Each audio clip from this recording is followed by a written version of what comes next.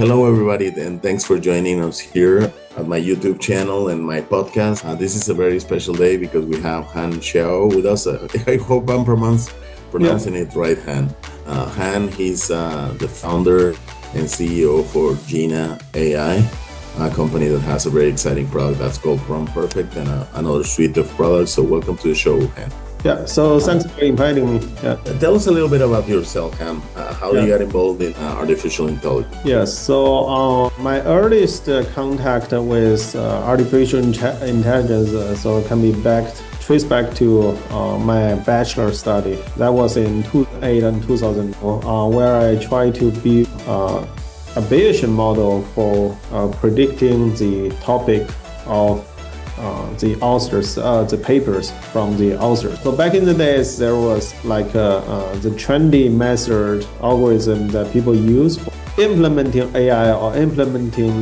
natural language processing. Is actually not all these deep neural networks that we were talking about today. It's actually those Bayesian models. Uh, but that was like 15 years ago.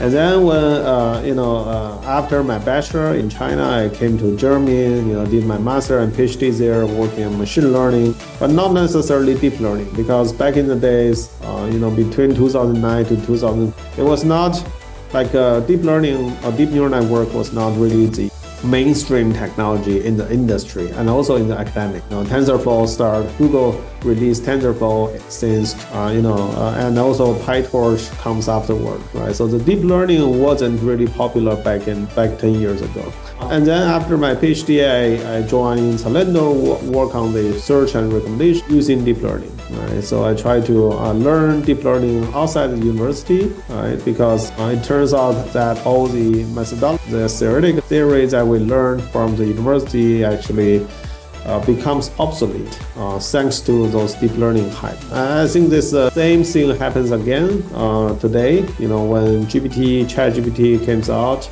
right, in 2023, at the end of 2022, so we see a lot, a lot of algorithm uh, methodology in the natural language processing becomes obsolete. So people don't need to use very, uh, don't need to build very ad hoc algorithm for, let's say, for doing name entity recognition and so on. They can just a single shot with GPT, with using prompt. Uh, and then after that, I worked many years uh, in Zalando, worked on search recommendation, and then uh, in the middle, I uh, came back to China, joined Tencent AI Lab, continuously working on search.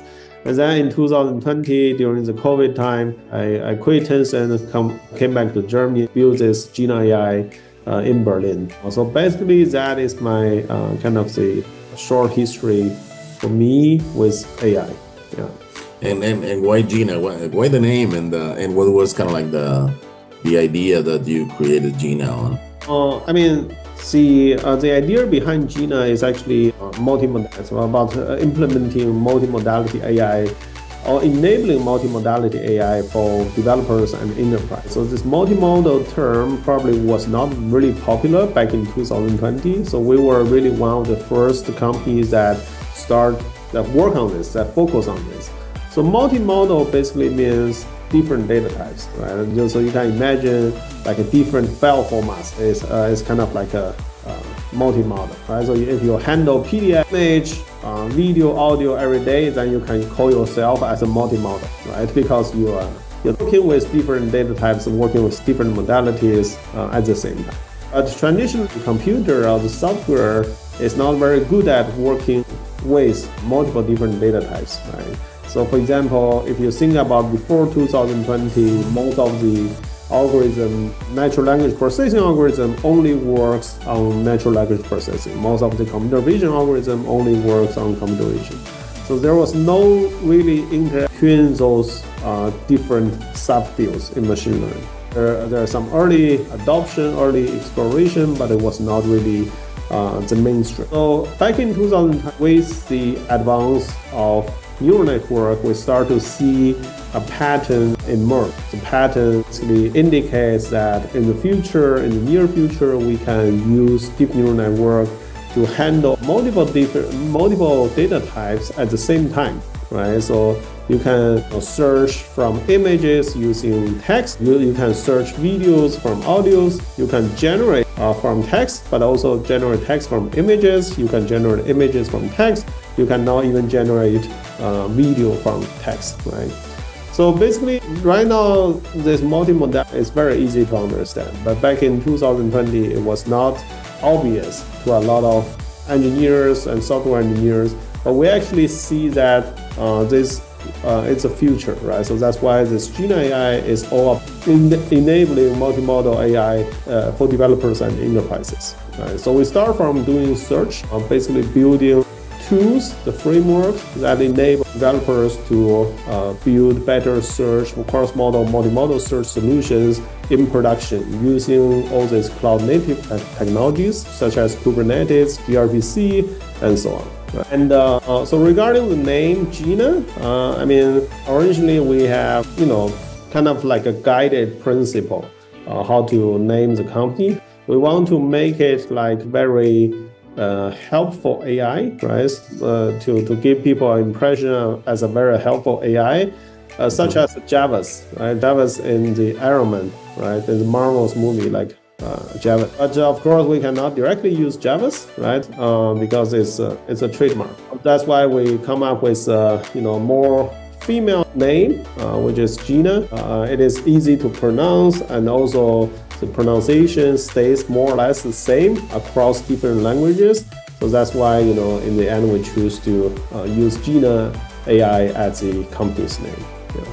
So it was more like the idea of having an assistant or something like that, somebody, something that uh, that will help you. Yes. All right. Okay. Yeah.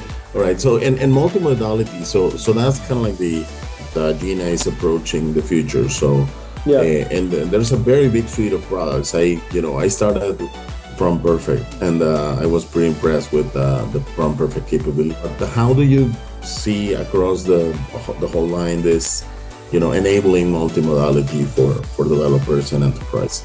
Yeah, I think this, uh, you know, we have uh, Prompt Perfect, or uh, you know, uh, to aim to become the best developer environment, you know, for prompt engineering. So here, the developer environment is actually, uh, you know, in the in the quote mark, because those prompt engineers are not necessarily very hardcore software developers, but they can be very good at prompt and they can do a lot of uh, things right, today in 2020. We also have a, pro a product which is called Things. Uh, if you can input an image, so maybe I, it's better that I can share the screen. Um, yeah, if you, if you can share, I mean, I, I've seen uh, SceneXplain, and yeah. it's also pretty impressive what SceneXplain can do. I, you yeah. know, I put it on my community hand. I have a community of uh, of people in WhatsApp that we yeah. kind of like uh, share stuff about uh, artificial intelligence every day.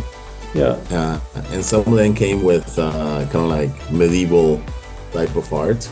You, you, know, there was also kind of like a Moroccan paint and yeah. stuff like that. Yeah. And it explained it perfectly. It was amazing what it can do. So, but please, please explain about yeah. SceneXplain. Yeah, so I mean, the SceneXplain is also based on the uh, kind of the based on the fine-tuned model that we have, a fine-tuned multimodal model that we have. So basically, you can see it build a very nice correlation between the images and text. Uh, and also, uh, and also, like if you look at all these images, so they, those are non-trivial images. So it's not like you you just uh, have an apple there and then ask what it is, right? So those can be a diagram, can be comic stripes, right? Uh, uh-huh. can be the, the images with text, with a lot of text in that, right? Uh, so, but our model is able to understand this perfectly, right? And also describe to the very details. But not only that, so we recently also add video understanding, video comprehension okay. things. So basically, if you upload a video, so it will uh, recognize key events, the summary of this video, but also uh, you know, extracts the key events that happens inside this video. Right? So for example, here it extracts the two key events. One is happens at the uh, the four at the at the fourth second. The other is happen at 20 second. Right? So if you click on this, it says a group of people, including individuals in suits, rather uh, gathers in front of a podiums. Right? And then the word satellites in North Korea uh, will, are prominently displayed. Right? So if you click on that, it will locate it into this very frame, right? Okay. So besides that, it can also generate an audio story uh, from the image. So let's say you upload this image, and then it just uh, you wait for one minute and so on. Rather, it just uh, output emotional story, right, uh, based on this image, and then you can play this. Uh, you can play the voice. You can play the audio. It's actually like a. Uh, it has narrator, like different characters having dialogues and so on, right? can, can you do that in, in other languages other than English? Yes, yes, of course. Yes. So okay. you basically for SceneXplain, you can you can always choose to uh, go for uh, any languages, right? So for example, here right. you can choose to go like Spanish. Uh, it will return okay. Uh, Spanish description of the images, right? Uh, okay, so it's, uh, it's, basically part of the algorithm, right? So you can. when you send an image, you also need to specify the language. You know, you want to kind of like, translate into, right? And then afterward it generates the images with all the language that you want. Yeah. Basically, if you summarize, uh, we also, as I said, so in this company, we also work in, uh, besides Prompt Perfect SceneXplain, we also have a lot of also developer-driven or developer-centered products such as Jina, Docker Array. So if you go into that, because that is a, like a less interesting, depends on who you are, right? So if you are developer, yeah, if you're a developer, it's interesting. yes, if you're developers, you'll probably see that oh, this is really hardcore. So like a lot of coding here and there, right? Uh, so we also have uh, embeddings for published for researchers. We also have enterprise solutions and so on, right? But what is it? I, I think a lot of like uh, uh, you know leaders or friends that first visited Jina, it may uh-huh. get confused a little bit. Like what is exactly this company is doing, right? Uh, yeah, because it's a lot of tools. So that's yes, it's a lot like of tools. So let uh, me let me kind of like uh, use this uh, you know use this chance to explain what are we doing and what is exactly the storyline behind Jina AI, right? All right. So basically, if you look at this graph, so if you go to About Us, you see our mission. You know, uh, in 2023, there are a lot of disruptions, a lot of new algorithm, new methodology, new models popping up right this year. Right. So if you look at AI, AI has never been so crowded, noisy uh, as before, as, as today. Uh, it is really a lot of a lot of hives, a lot of like a, a, lot of real stuff, but still a lot of hives going on in the in the in the. So basically, if we we as a company, as Jina AI, we look at all uh, kind of the technology support future developers and enterprise, and we come up with these four technologies. We summarize that those four technologies, these four particular technologies will support future developers and enterprise a lot, right? So uh, we believe those four technologies are very, very fundamental. So no matter whether you're developers or enterprises, you need an AI solution, you will need one of those and most likely a combination of those four technologies. Then what are those four technologies? So these four technologies are basically prompt tuning, right? So basically the idea here is, you know, you're handling large language models of Midjourney, uh, text to image models, stable diffusion Midjourney, or text to text models such as GPT, GPT-4, Claude, and so on, right? So you always your your the output of those big models are highly depends on the quality of your input. So if your input is bad, then usually the the output is you know is bad, right? Uh, some models are good, uh, because it's kind of fine-tuned for the bad input. But in general, like most of the large language models output, quality highly depends on the input quality. So that's why you know we need a tools or we need an algorithm or methodology or framework or project, however you want to call it. We basically need a technology to improve the prompt before we send the prompt into the large language model. So that is basically prompt tuning right? And as you can see, we have this prompt perfect, which is focused on the prompt tuning part. And then there is other technology, which is called prompt serving. On the prompt serving side, we have, uh, so basically you can imagine this as those applications that is powered by prompt, but it's not, there's no model behind that. Right? So it's basically, if you really look at the source code of those uh, applications, you can find they are basically sending requests, receive the response, manipulate on the response, and send the request again. Right? So there is no really model hosting or you know I'm running a model on a GPU and then trying to uh, you know manage GPU memory all this kind of thing. There is no such thing. They basically just send and receive request and response via API. So in this case, we call those kind of applications as prompt serving applications. So examples such as uh, in the early this year, we have this chat PDF. Not we have, but the community has this chat PDF, which allows people to upload a PDF and then you can chat, you can ask questions about this PDF, right? Yeah. So this application is, is a very typical prompt serving application because there is no model behind. All the things is happening on the front end and all the AI behind is basically by talking to OpenAI's API. There is another example which is basically happens in the April or May this year. Is Auto this AutoGPT is again very typical example of prompt serving applications. There is no model behind, no GPU, NVIDIA driver, Docker, PyTorch, TensorFlow happening, right? It's basically like wrapping all this API, calling the server and receive response, calling it again and receive again. So basically, these kind of applications will become part of the software or will become part of the an enterprise solution in the near in the future, right? So to be honest, there is no shame about wrapping on top of OpenAI's API, right? Because today we have like two biggest cloud provider, which is AWS, right? There are tons of high valued startup right? In US or over all over the world, that is just a wrapper on top of AWS. So it doesn't, yeah. doesn't matter. It doesn't matter whether you are a wrapper on top of something. It, you should not be ashamed of that. The thing is that whether you can provide correct value proposition, a correct value adding on top of this wrapper, on top of their API. Right. Yeah, that's correct. And, and and there's a lot of people that yeah that uh, do shaming on that. Like, oh, you're, you're basically just calling a OpenAI API, and that's that's all you're doing. Um, but you're right. I mean, if you if you have value on top of that uh, in a different way than everybody else's, then you know then you have a business. Yeah, yeah, exactly. And there are other like uh, two technologies. Uh, so those are the prompt-based technology, right? So prompt tuning and prompt serving. And then there is also like a more on the model size based technology, which is, uh, you know, what we focus on because there are like a lot of models, like text to text models, text to image model, text to video models, and so on.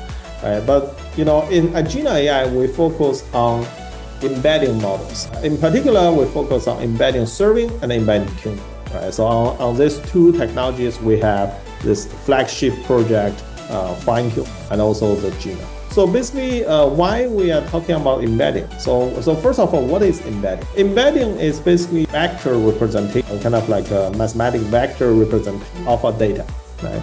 So for example, right now we, we can see this uh, text, you know, a letter as, as a characters, right? As a string, and the images as a pixel, right? As a, a sequence of pixels, right? Uh, you can see that the underlying representation, the text, which is a string, and the image, which is a pixel, is not uh, unified. It's not unified. So this yeah. makes handling this image and text and video, sound, all these things very difficult because they are, you know, represented different. And then these embeddings come out to for the rescue. So with embedding technology, we are able to represent images, text, video, audio, 3D mesh, everything into a fixed length vector, right? So let's say there, everything is converted or represented as 100 dimensional vectors, right? Then by, by using this representation, we are now able to compare relationship, compare the distance between all these vectors, between all these embeddings, which we hope that those distance kind of clue for representing the similarity between their semantics. So this is basically the idea behind embedding. And we believe that in the uh, in the near future, let's say uh, for the next uh, three to five years, because of this large language model, because of the multimodal AI models, and a lot of core technology, the quality of this core AI application actually highly depends on the embeddings quality, not vector database, not vector database, but on embedding quality. Because vector database is only about measuring the similarity. And there is only a limited and deterministic way of measuring the similarity. Basically, for people who kind of have some background with mathematics, you know that to measure the uh, similarity of the distance between two vectors, you can compute the cosine distance, you can compute the Euclidean distance between two vectors, but there are only this number of you know fixed distance metric, right? But when it comes to embeddings, so the embeddings quality, right? So whether this embedding quickly captures the semantics behind this image, behind this text, behind these videos, greatly influence the downstream applications, the quality of the downstream application, right?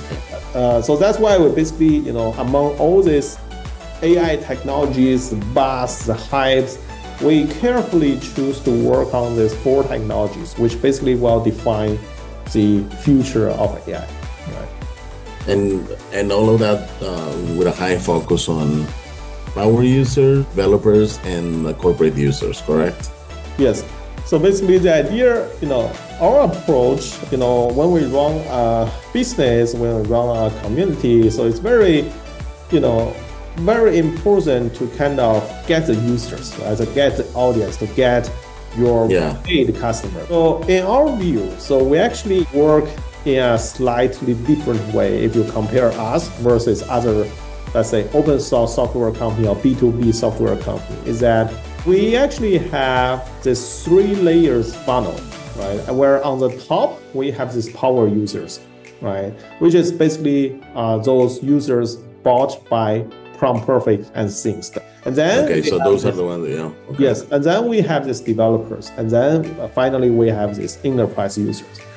Right. So okay. if you compare our funnel with other people's as other startups funnel, you can see that we have a different layer, different first layer compared to the others. Right. While others usually start with developers community and then try to convert some developers into paid users, but we don't work in this way. We work on the first, we try to capture those power users who are very interested in doing prompting, right? By using prompt to build their application. And then with all these prompt users, we convert slowly them developers to hardcore developers or to the paid enterprise clients, right? And the reason why we build the funnel in this way is also based on our observation in 2023. So let's say the same presentation and the same uh, methodology, philosophy. If you ask me last year, I probably won't answer in this way. And then, but if you ask me today, I, I see this approach totally makes sense. Why? Because if you think about the, uh, you know, right now it's August, it's already September 2000. If you think about what happens in the first six months in, in the AI industry. It's actually pretty crazy, right? A lot of hype, a lot of buzz. But what, what we can also observe is that a lot of non becomes kind of developers in 2023. So why do I say that, right? If you look at all these very popular applications on Twitter, right? Uh, they get a lot of likes, retweets, reposts on Twitter, and uh, you found that those applications are actually not hardcore as let's say before 2020, right? Before 2021. As I said, they are basically a wrapper on top of OpenAI's API, right? Or, or on top of Stable Diffusion, or on top, on top of Midjourney. But they are able to generate a lot of value. And value means sometimes means they are able to create create a lot of MRR, right? So that people subscribe, pay for the service, or they are able to generate a lot of hype, a lot of user, you know, from the community. And then you cannot really say that they are developers because, uh, I mean, they are developers. But if you ask, uh, can you install PyTorch, which is really considered as a kind of entrance entrance bar for the uh, for going machine learning, they probably don't know how to install PyTorch. They probably don't know how to. You okay, you need to kind of serve this model into a Docker container and then deploy this on Kubernetes in order to make it scalable. They don't know and they don't care, but that doesn't matter they still have a very good product in the market, right, which is well accepted by the market. So this basically reminds us one thing is that the people originally, like before 2023, without all this ChatGPT, large language model stuff, the AI, the development of AI or using AI technology to build a product is kind of privileged to those senior engineers, to those senior AI developers, to the senior AI uh, data scientists right? Because they have the know-how to, you know, build something from scratch to serve this in the cloud and so on, right? But in since 2000, all these large language models, ChatGPT, Midjourney, they kind of democrat AI to everybody. Now everybody can be an AI developers. Everybody can be an AI engineer as long as you are a good prompt engineer, right? As long as you can speak very good prompt, you can use all this cultural reference, pop culture, stories, famous authors, famous painters when you try to build a Midjourney uh, image, right? When you try to generate image uh, image. You can you can just be become a prompt expert without really going to the details of the models, the details of the algorithm. Or the, or the code. You, you, you need to do a good prompt, and then you can you can build an application even with no code. Yes, exactly. Right? With, so those, no code those, tools. Yes, so those users are what I call the power users. And those power users are super important because it actually, you know, in the long future, I even imagine that, you know, there is no need learning any computer language. There is no need for learning Python. There's no need for learning JavaScript. Because the future, in the future, people can, can just speak prompt and then those large language model is responsible for converting those prompts into machine code.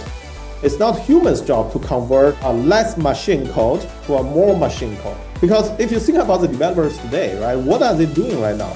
They are basically write Python or JavaScript, which is like a machine code, but okay, so there are some semantics, right? So you can do public function, define all these things. There are some semantics inside the source code, right? And then the interpreter, right, the Python interpreter of the comp, which basically doing one thing is to com is to convert this very high level source code, Python and JavaScript source code, into a low level binary machine code, right? Zero one or move yeah. memory address from here to there. But is this really necessary? If we, if in the future that we have this large language model work as an interpreter or work as a compiler, then all the humans, all the human developers just need to speak English or need to speak their own language, right? And yeah. all the yeah need to speak the prompts, and all the other work are actually done by, by the large language model, right? So there's no yeah. need to have some middle layer language such as Python and JavaScript. So that's why I see. Yeah, Okay, so maybe I'm crazy, right? So, but I see that this is a this is a kind of upcoming future in the uh, you know when, when when prompt technology and the large language model continuously evolve. Yeah. Oh yeah, I, I that's that's pretty much my case, Ken. I you know besides building content, I do I uh, I create courses and uh, I've been teaching in in my class. I basically teach how to build prompts, right? Yeah. I mean, I, I teach basic um, AI concept, but not for developer, everybody. So I, I have all kinds of people in my classes, and uh, but kind of like the center of it all, it's, it's prompt engineering, and uh, and yeah, a lot of them end up being pretty heavy uh, power users, and a lot of them end up doing uh, pretty powerful stuff just with the prompts, or eventually going in into wanting to develop uh, a chatbot for the companies or something like that. So yeah, I, I think that your observation is spot on in terms of this new category of power users emerging, you know, kind of like a powerful force within the community. So th- tell us a little bit about Prompt Perfect and, and, and the future for Prompt Perfect and then the future for Jina, because we have kind of like a, a little bit uh, less than 10 minutes. Yeah, yes. I mean, the future of Jina is actually like, uh, uh, you know, we, we start, as I said, our strategy is basically to first grab these power users using Prompt Perfect and SceneXplain, right? Uh-huh. And then educate them to uh, do more things more deeply, right? So for example, what we have here is a multimodal starter kit, which basically, if you look at things and Prompt Perfect, you can use every applications as an API. So there is always an API interface which you can call them without using UI, right? So you can write source code and call them together, right? So basically, you can build higher, high-level applications, AI applications that using all these products. Right? So for example, you, uh, you want to have you know very smart fridge that you want to kind of take a photo of your fridge and generate uh, output uh, in, uh, like a possible like a menu. Recipe. Your recipe from the fridge right? So you can use things, frame from perfect Jina chat you know chain everything together eventually generate a very pretty like a recipe for your for your own purpose right? Mm-hmm. so this, and we also have like a uh, you know this this part is relatively like starter you know it's not where there's not really a lot of things going on uh, besides just wrapping all the all of our service as an API. But if you want mm-hmm. really, you know, work very harder, low level as a developers, as a pre-2020 developer, we also recommend you to uh, look at our multi-modal stack, which basically okay. allows you to build something from scratch uh, using our cloud native technology. I believe, so to be honest, like uh, in 2023, at least in the first half year, multi-modal stack is not that obvious, right? Because you know a lot of people say that oh I can do this this and that in LangChain without chain, yeah. models. But yeah, uh, so first of all, it is true. We also study LangChain internally, and we we admire the popularity of LangChain in the first half year. Uh, but I think that prompt-based technology and model-based technology, they have to work together in order to deliver the final solution especially when it comes to enterprise, uh, where the enterprise, where inside the enterprise, the data compliance, the network, the privacy preserving, all these things become significant, right? So for example, you cannot use OpenAI's model, or for some reasons you are not use you are not to transfer uh, customer data to the outside. In many of the cases, you need to kind of host the models by yourself right, inside your network on your own AWS account or on your own Google account. So in this case, this multi-modal stack becomes very useful, where you can basically have full control of what you have and where the data is sent uh, inside your system, right? And also, like uh, for the future, you know, for Jina AI, we what we want to provide to the enterprise. So right now, everything is kind of in beta because we are still like a heavily, a fastly iterating over all the products. But what we want to provide to the to the enterprise is actually we want to provide them a fine-tuned framework, right? A fine-tuning okay. user interface, which basically allows them to easily inject their domain-specific knowledge into the large language models and gives very good embeddings. And then people can use this embedding using our inference framework and then deploy this inside their enterprise as a very highly scalable microservice. And once it is deployed as a microservice, they can use it as a part of their pipeline as workflow and to improve their productivity. But the first thing is, of course, the first question is for many enterprises or for many companies is that they already know that oh this AI you know large language model seems very good and uh, ChatGPT is really awesome. Can we have something for my domain? This is a very common question that asked by a lot of enterprises, a lot of companies, right, big or small, right? And then we want to provide, we want to solve not the whole problem because the whole problem involves a lot of, you know, different partners, different vendors. We want to solve the problem that when company you know need a better embed, they can use it for better search or better generation. They come to us. They come to Jina, right? And then by providing this embeddings fine tuning and inference, we are able to cover the multimodal AI embeddings part. And together with the prompt technology, some people may know that okay, so right now there is like a retrieval augmented search, which basically combines the prompt and the embeddings together to deliver better search result. So we can also basically put these two stories together and then to tell an even bigger story. Okay. And uh, and the, and the, this Finetuner can work with um, with the LLM, like uh, you know, work on the fine tuning of ChatGPT GPT-4 based um, model. Yes, yes. So uh, we uh, uh, yes we, we can fine tune uh, for the uh, you know to fine tune based on the user's input. Domain specific data, right? So usually it could okay. be if you work in the legal tech, right? So this could be your uh, legal cases, PDF, all these uh, legal paperwork. Then you can we can fine tune over that and then kind of like tailored uh, large language models. And especially those models are very good at generating embeddings. Very good. Well, thank you very much, Han. I, I, this has been such a great conversation, and I, I really have enjoyed this. And it's probably also because I identify myself as a power user, and uh, and it's refreshing to see a company that is focused on power users more than just developers, which more focused on developers, uh, but uh, a great suite of products and a great approach to that. And I really, really thank you for for this opportunity. Do you have any any parting comments? Any uh, final comments? Uh, no, I'm, I'm good. Yeah. All right, Han. Well, thank you very much.